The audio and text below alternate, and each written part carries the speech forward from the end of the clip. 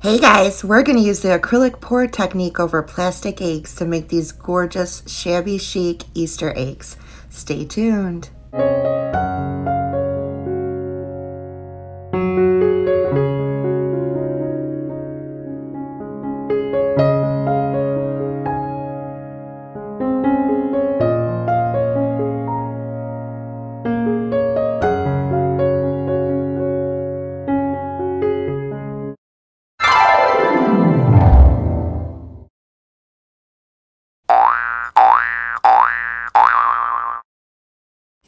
Welcome back to my channel.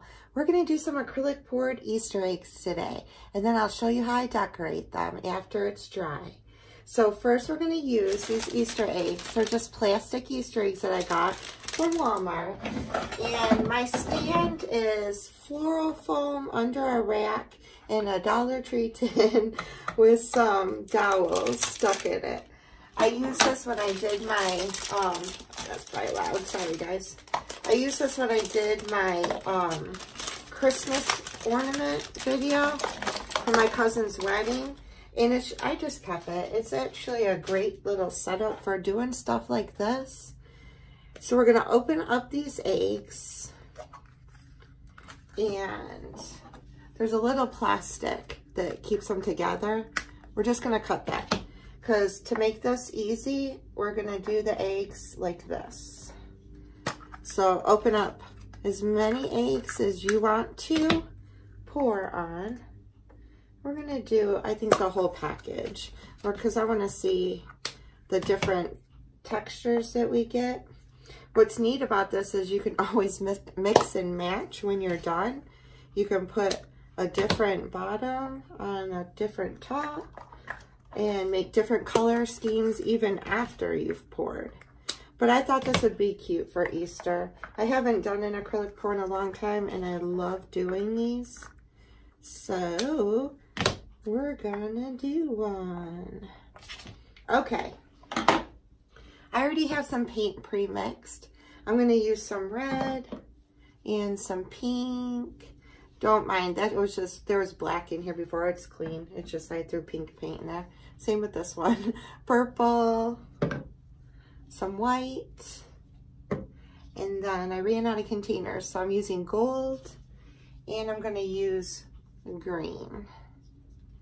It's not gonna take a lot on these, and I use these little shot glasses that you can get from Dollar Tree to pour my paint in to get the different colors. So I probably should have had these opened before I started. I wasn't prepared. I'm so sorry.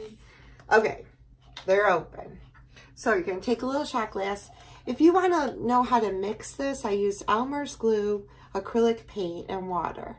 So I'll start with about that much paint, add about that much glue, and then the water, I just add a little bit at a time until it's the consistency when you pull let me show you in this one, be easier to show you. When you, you run it like a creamy and you want it just to flow right off of the stir stick. If you want to learn how to mix, I got addicted to, to this by watching Mix Media Girl. She's amazing. So you can check out her channel. So I'm just going to keep layering. I started with some white. Gonna add some purple, some gold. Like I said, you're not gonna need a lot of paint for these little bitty eggs. I'm gonna do a little test run here. Some pink, and let's do a little bit more white. I'm not even filling up half of that shot glass. I'm about there, just under half of that shot glass. So let's try, let's see how much, let's do it on a bigger, the top part of the egg first. The top is a lot bigger than the bottom. So let's just see how much paint we need first. So I'm just gonna do a little swirl. And the gold is taking over on this one. I chose pink eggs um, because, you know, Easter, of course. But I wasn't quite sure how the paint was going to adhere to them. And I didn't mind if like that pink was coming through a little bit since it is Easter. So that turned out pretty good. It's going to keep flowing. Like I've said before, you can use your finger in spots that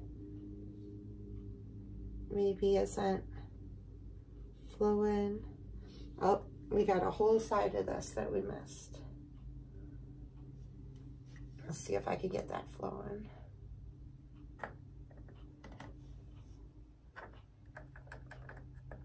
So we're gonna just let it do its magic, okay? And that was a pretty good amount in that cup. So I'm actually just gonna use the same cup and just add some more colors to it. Let's try the green this time. Put a little green. Oop, that's a lot of green. We'll try the red. I don't really want it looking like Christmas, so maybe that wasn't a good idea. I'm actually going to try to fill the cup up this time and see how many I can get done with one cup of paint. So I guess I'm just going to do all of the colors. See what happens.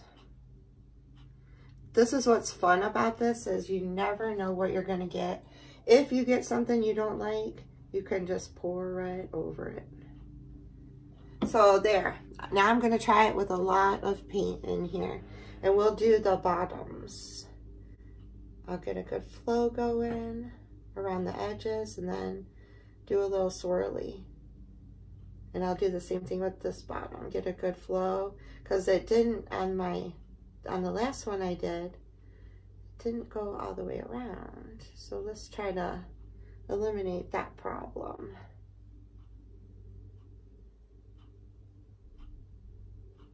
Yeah, that one's gonna look like a Christmas egg. What you can also do is, since that one has a lot of green, just use the excess on another one. Try to get it out of your cup, or I have lots of these little shot glasses. I can just, ooh, I didn't mean to do that. I can't get the paint to stop dripping. I'll just use a different shot glass. So again, we'll do white, purple, gold,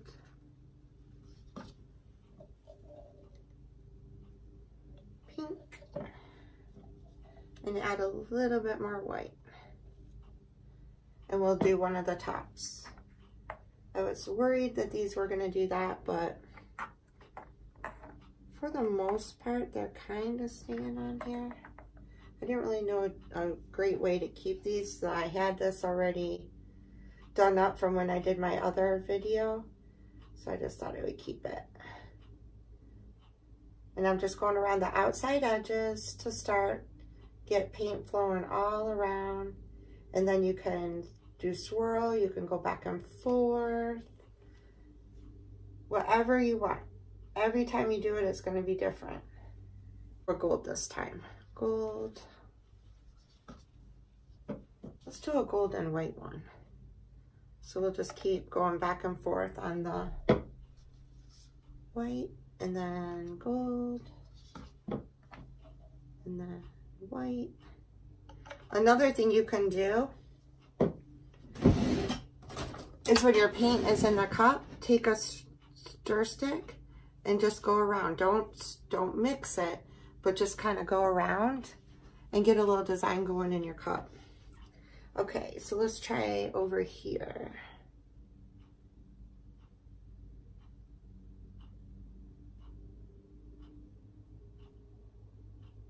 Make sure it's flowing. I like that. Let's do one. I was afraid of that happening. This little guy does not want to stay on his little stand now, does he? I like that golden white. So let's do the another one just to have maybe those match and they could go together. And then we'll do this little guy.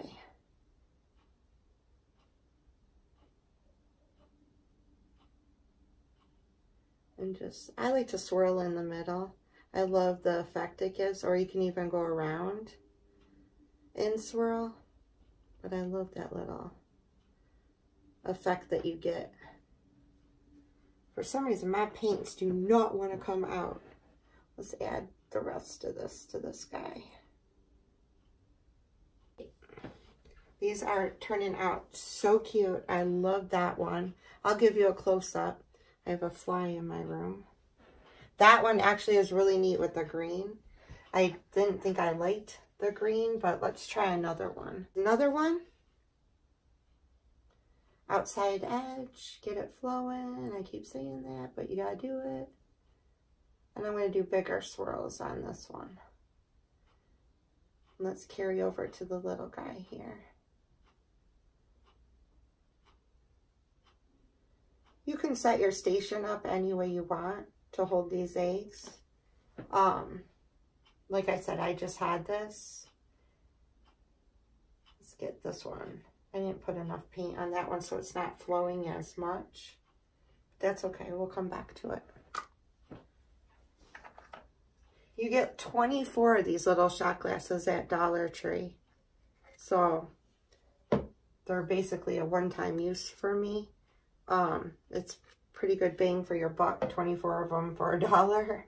So I don't really mind throwing them away. After I'm done, must to clean.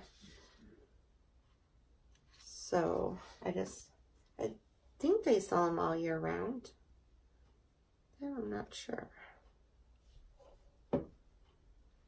Let's add a little pink. Okay, so what do we got? We need this one done.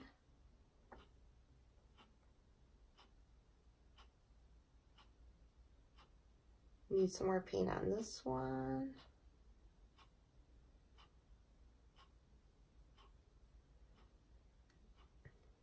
And we need more paint on this one, which I keep running out when I get to this guy.